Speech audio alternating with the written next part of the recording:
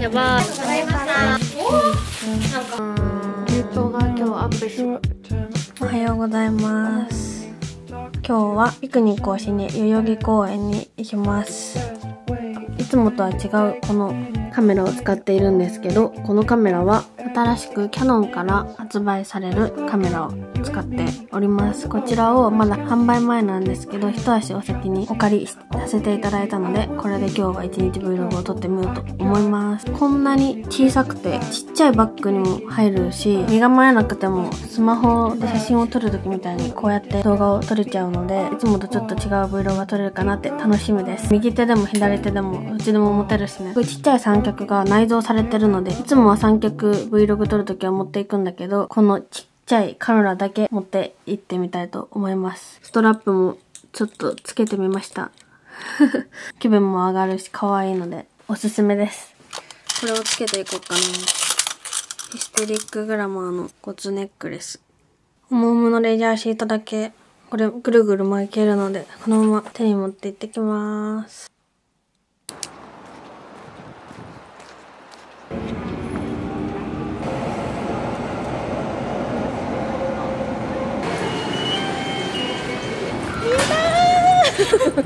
おひさお久しぶり。見てほらめっちゃ広角じゃない？すごい。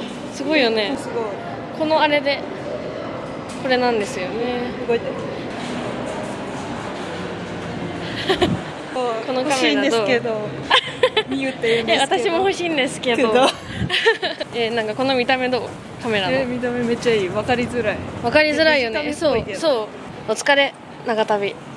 全然慣れ慣れよ徒歩20分もあるあ意外とまあでも天気いいしうん。散いいお散歩っていうことで。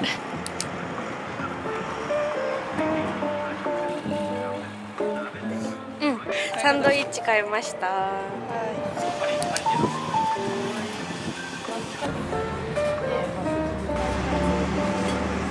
ラテとドーナツ買いました。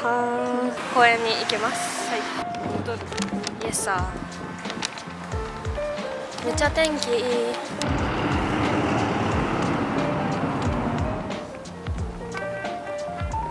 どうかな？これが手ぶれありで手ぶれなしでも撮ってみよう。これが手ぶれなしです。どうですか？変わりますか？ぶれてますか？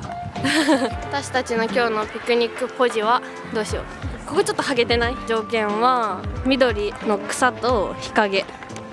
あと平らのとこを今探しております。こうやって出てくるのでこうやって。立てれんの？そう。ドーナツ。どっちだろうこれ？うわ美味しそう。ミュータンの何これ？なんだっけ？スパイシーチキン。私はアボカドバジルサンドにしました。あったかい？うまそう。えやばくない？前買ってくれたのね私のために。やばい。美味しそう。平和やな。フリスビーとかしちゃって。いしちゃって。ただきます。うん。うまい、うま。っうんうまい。うまい？うん。うん。レタスとアボカドとバジル？が挟まってる。あとチーズ。なんかそこで大学生のサークルみたいな大人数がだるまさんが転んだとかしててみんなで。なんかすごい大人になってもああいう心は忘れちゃダメだよね。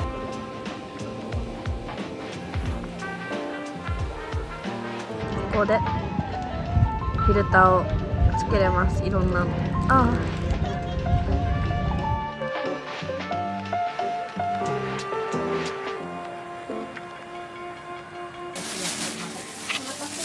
りがとうございます。セロム買いました。セロム？セローム？セローム買いました。緑。え、すっごいぴったりじゃん。そうよなんかね、うん空いてなくて、うんずっとうろうろしちゃってでもなんかワンチャンいけるんじゃね？えと思ってたら行った わこれに挑戦しようとは思わないわ。これでさ何泊分ですか？さね、すごくない？え普通じゃない？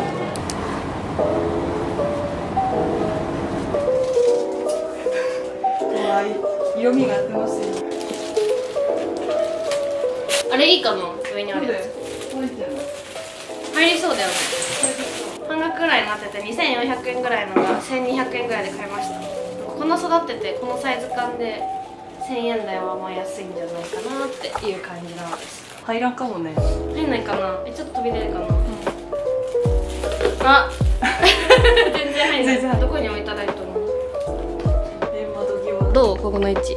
この8がはみ出てるのはなしとして。うんちょっと混ざりすぎ。高さが一緒やけどおかしいかな。あー。えありがとう。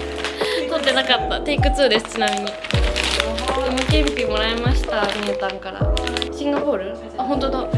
これ書いてある。めっちゃいい香り。はあ缶が超可愛い。カメラのこのついてるスタンドを前と後ろにこう倒せるんですけど前にして撮ってるんですけどすごい。広角だからめちゃくちゃキッチンが映る。いつもと違うんですよみんな目線が。えこれってさ H&M えー。無印のカレー。トマトのキーマとバターチキンです。あよかった。です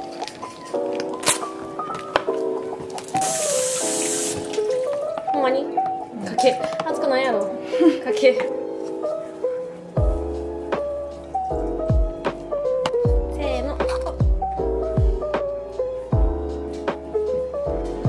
いただきまーす。超マジで手抜き。これも切ってあるやつだしもともとそんなもん。無印のバターチキンって美味しいよね。美味しい。一番人気？うんうん。うん。うん動画今日アップしました。みんな見てくれましたでしょうか？部屋真っ暗にしててプロジェクターつけてるだけなんですけど暗くてもめっちゃはっきり映ってる。ほらトムもこんなにくっきり映ります。暗くてもくっきり入るのがやっぱりカメラのいいところだしこんなちっちゃくてこんなはっきり映ってくれるの見て嬉しい。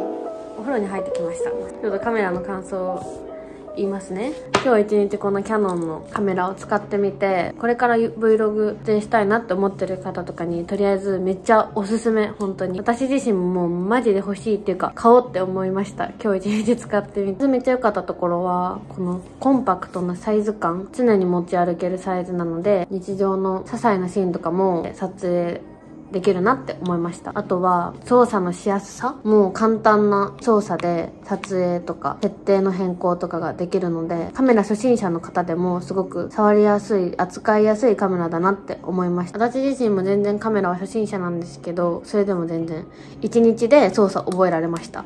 あとは起動の速さ。Vlog って今撮りたいっていうシーンを瞬時に撮れる素早さみたいなのが大事なポイントになると思うんですけどあ今撮りたい。ピッで撮れちゃうから Vlog に適しているカメラだなって思いました。ボタンのところがこんな感じになってるんですけどこれが電源ボタン。けどここはタッチパネルになっててここで操作することも可能になってます。でもちろん下のボタンでもアナログで操作もできるのでこれは好みで選べるって感じでカスタム設定とかもすごく簡単な設定画面になってるのでこんな感じでここが設定画面旧セットボタンっていうのタッチでもボタンでもあるんですけどここを押すと主な設定の機能が出てきてすぐ設定できるようになってます。でこれ動画だけじゃなくて静止画も撮れるんですけど YouTube の場合サムネイルとかもこのカメラ1台で高画質のサムネイルも撮れちゃったり画面はこんな感じで上に上げれるのでここにレンズがついてるから自撮りとかも簡単にできちゃうしめちゃくちゃ今日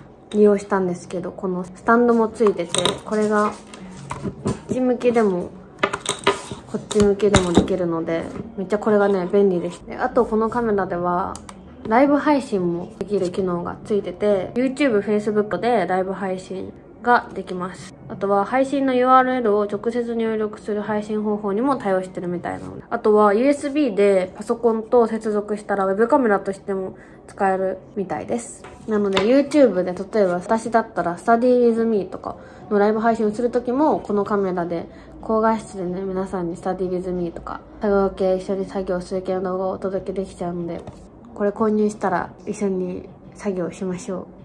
このカメラ大好きになりましたのであの買います。よかったら皆さんも。6月下旬。に発売なのでこの動画見て気になった方はサイトとかチェックしてみてください。最後まで見てくれてありがとうございました。